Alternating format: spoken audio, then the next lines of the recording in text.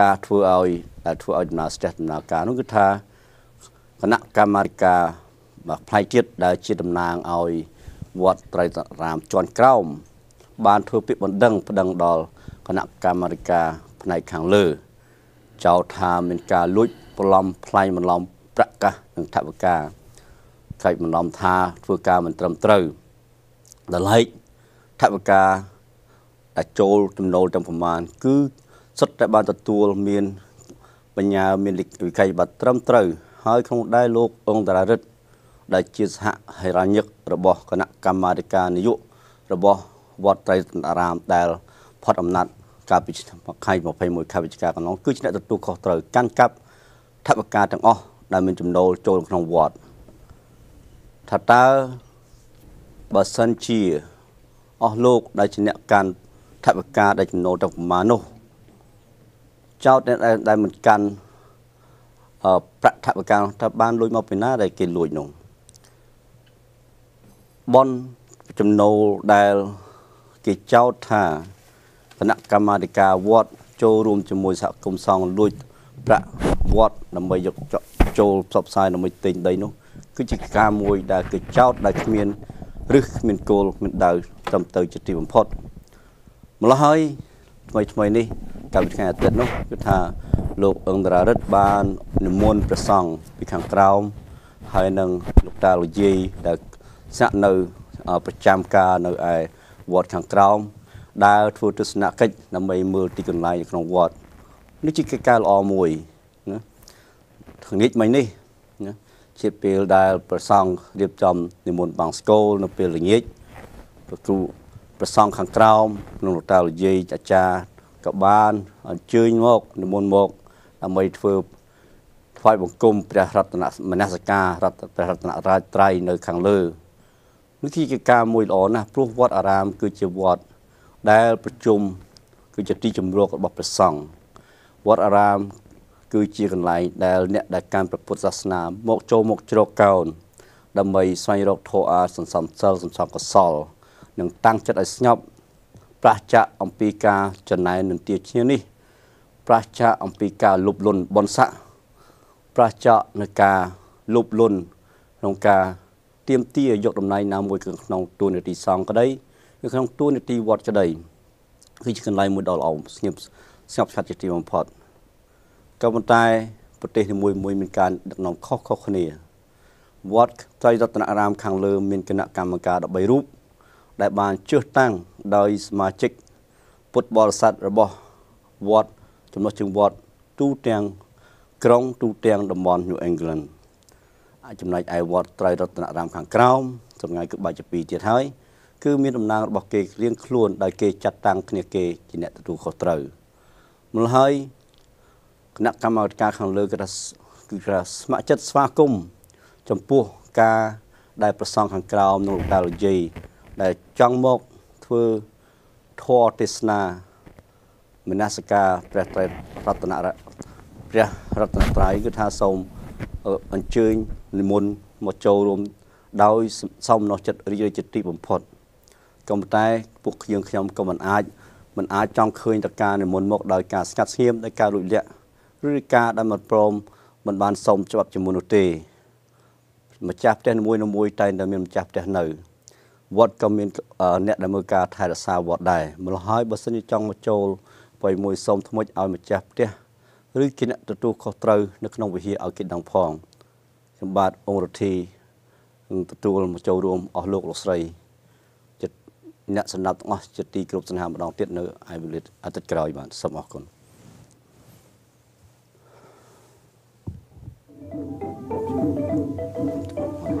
មកចូលវិញ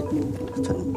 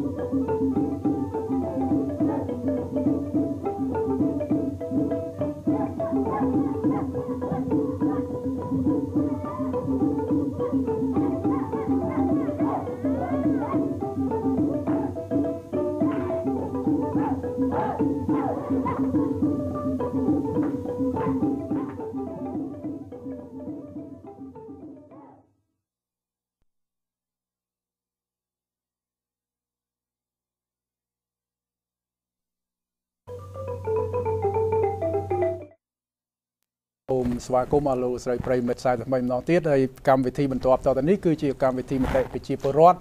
ហើយយើងនឹងពិភាក្សាគ្នាប្រធានបទរបស់យើងគឺនិយាយអំពីវត្តត្រៃរតនារាម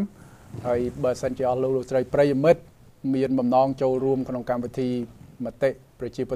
លរដ្ឋរបស់យើងសូមអញ្ជើញអស់លោកលោកស្រីប្រិមិត្តទូរស័ព្ទចូលមកគឺទូរស័ព្ទយើងបានបើកហើយហើយយើងនឹង បន្តនៅការសន្ទនារបស់យើងដូចតទៅបាទហើយនៅក្នុងពេលនេះផងដែរខ្ញុំបាទក៏មានការចូលរួមដោយបងរិទ្ធីផងដែរសូមស្វាគមន៍បងរិទ្ធីអរគុណចឹងបាទហើយនឹង Steven សូមស្វាគមន៍សាជាថ្មីម្ដងទៀតបាទនៅក្នុងកម្មវិធីនេះយើងនឹងពិភាក្សាគ្នាអំពីរឿងវត្តត្រៃរតនារាមដែលបងបាននិយាយមានប្រសាសន៍នៅក្នុងបទវិចារណកថារបស់បងហើយថាលោកហ៊ុលនរងក៏បានផ្សាយ អំពីរឿងហ្នឹងហើយយើងចង់យកមកធ្វើការវិភាគខ្លះហើយខ្ញុំក៏មិនបានស្ដាប់ប្រហែលដែរខ្ញុំអត់បានស្ដាប់ខ្ញុំឮតែគេនិយាយទេបាទហើយនៅក្នុងនាមបងជាអ្នកនាំពាក្យរបស់គណៈកម្មាធិការវត្តត្រៃរតនារាម ដែលជ្រើសរើសដែលបោះឆ្នោតជ្រើសរើសដោយប្រជាពលរដ្ឋកាលពីថ្ងៃទីកាលពីថ្ងៃទី18ខែ9ឆ្នាំនេះ ហើយបងមានប្រតិកម្មយ៉ាងណាដែរចំពោះរឿងហ្នឹងមុននឹងឆ្លើយទៅសំណួរបងអូនវឌ្ឍនាខ្ញុំបាទក៏សូមប្រកាសម្ដងទៀតនៅចូលរួមមរណទុកចំពោះបងអូន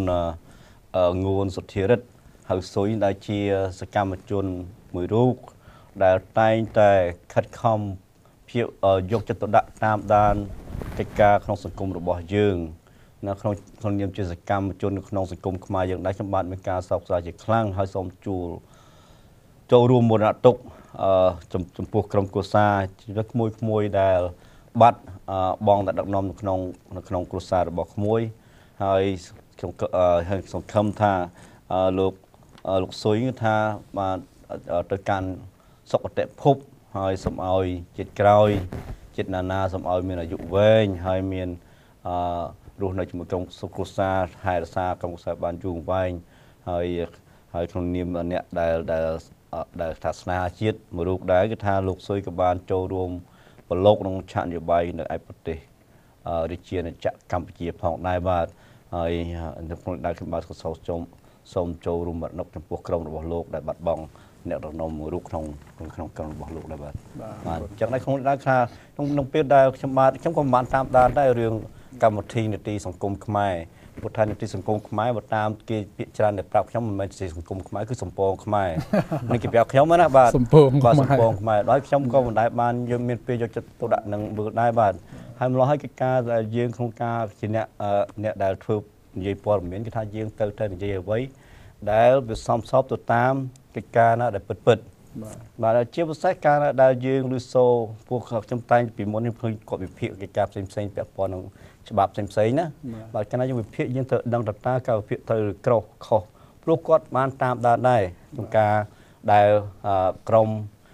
អ្នកដឹកនាំវត្តខាងក្រោមគឺបានប្តឹងដល់ក្រុមអ្នកដឹកនាំវត្តខាងលើ អំពីការលួចនេះលួចនោះលួចលុយលួចអីវត្តយកទៅចំណាយផ្សេងផ្សេងគឺគាត់តាមដានដែរណាហើយក្រុមខាងលើក៏បានមានការប្តឹងតបទៅវិញដើម្បីការពារខ្លួនគេនៅប្តឹងតបគឺដូច្នោះហើយការ ប្តឹងផ្ដាល់គឺមិនទាន់បានសម្រេចទេណាហើយនឹងឥឡូវនេះគឺខាងមេធាវីខាងក្រោមនេះក៏បានទូរស័ព្ទមកមេធាវីមេធាវីខាងលើដើម្បីសុំថ្ងៃដើម្បីយើងឡើងទៅតវ៉ាក្តីក្តាមនៅលើតុលាការនេះគឺក្តីក្តាមគេហៅសាកសីគេហៅចុងចោតដើមចោតដើម្បីតុលាការសួរគ្នាវិញទៅមកនេះគឺចំណុចសំខាន់មួយម្ល៉េះហើយអ្វីបើតែពាក់ព័ន្ធក្នុងការ ឬជញ្ជូនឬការនៃចេះមួយចុះមួយគឺជាពាក្យចចាមរាមដើម្បីបំភាន់មតិមហាជន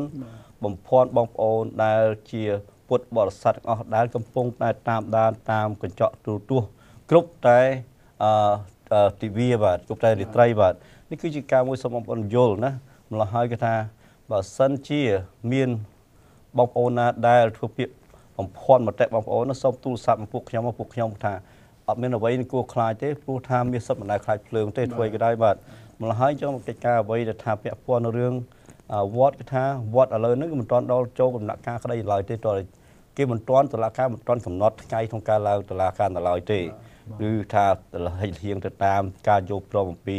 មេធាវីទាំងសងខាងគឺថាបើមិនចុងខែ1ឬក៏ដើមខែ2ឬក៏អាចចុងខែ2ក៏មានដែរម្ល៉េះហើយសូមឲ្យបងប្អូនដែលតាមដាននឹងសូមសូមមេត្តា យល់ហើយសូមបាវិភាគមើលអ្វីដែលការដែលគេនិយាយមកខាងខាងគឺគឺការការជាការបំផ្លើសដើម្បីឲ្យបងប្អូនយើង មានការសោកស្ដាយឬការមានការព្រួយបារម្ភតែប៉ុណ្ណឹងទេបាទខ្ញុំខ្ញុំមានចំណាប់អារម្មណ៍មួយដែលមានគេប្រាប់ខ្ញុំអំពីសុំសុំចាំមួយផ្លេតសិនណាហើយខ្ញុំសូមបញ្ចប់ទៅសិនអំពីរឿងប្រសាសន៍របស់គាត់ដែលគាត់ថាអឺយើងត្រូវរើគ្នាដោយថាលោកព្រះអង្គ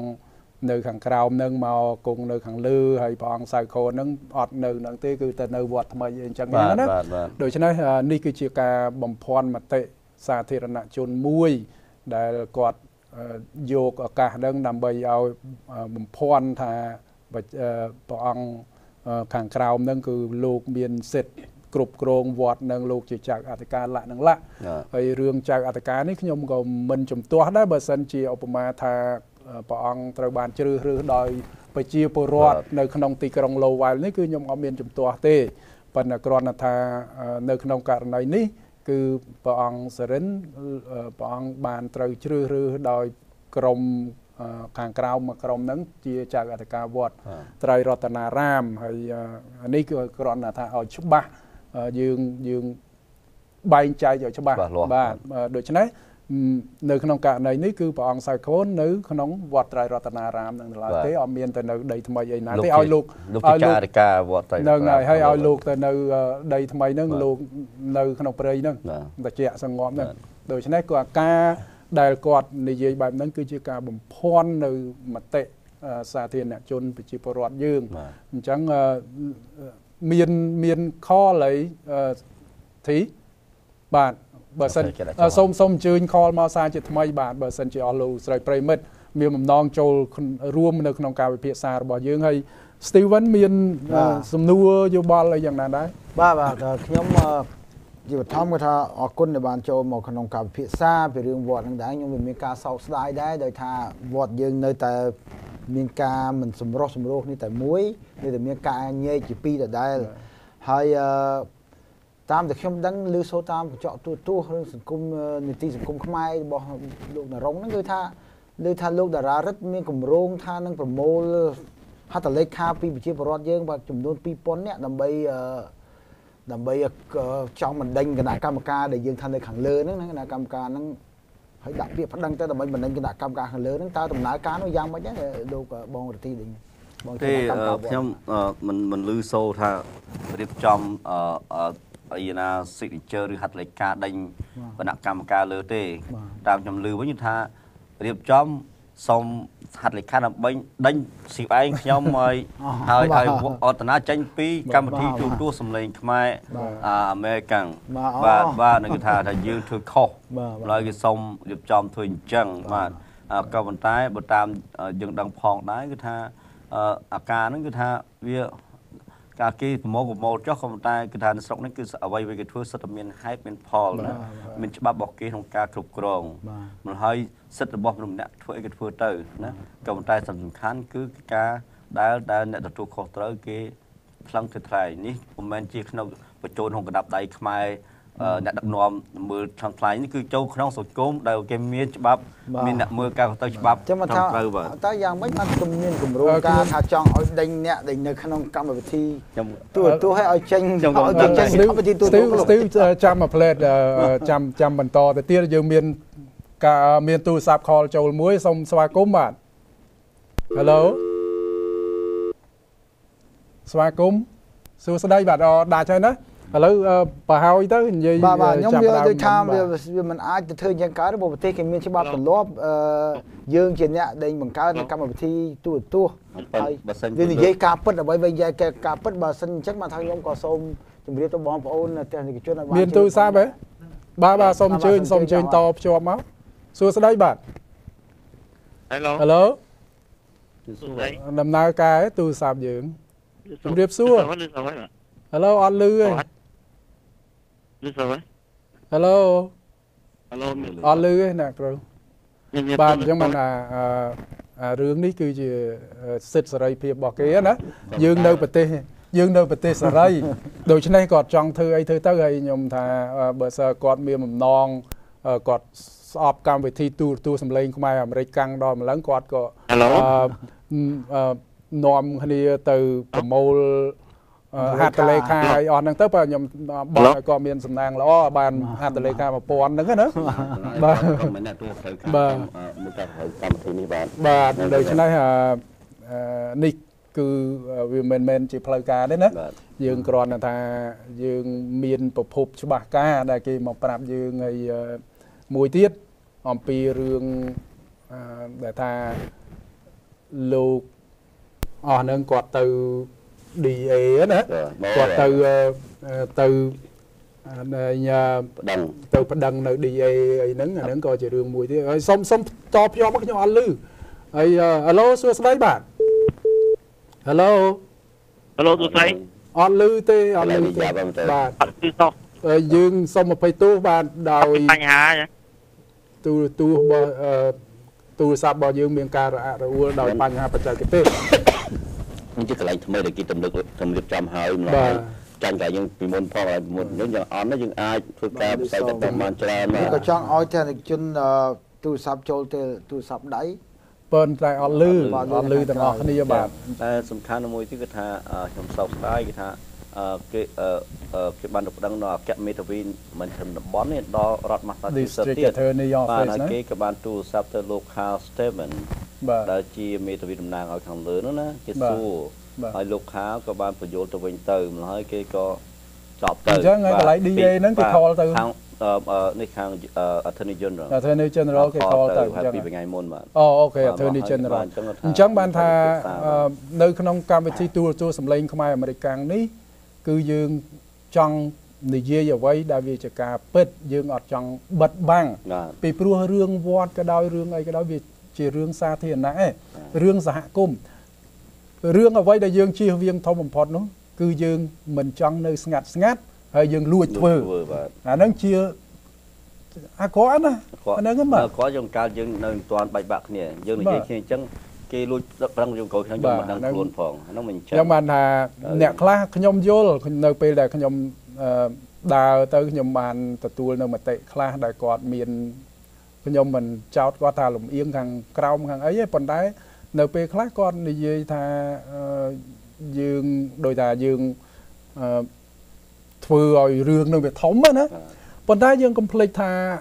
រឿងវា10ឆ្នាំ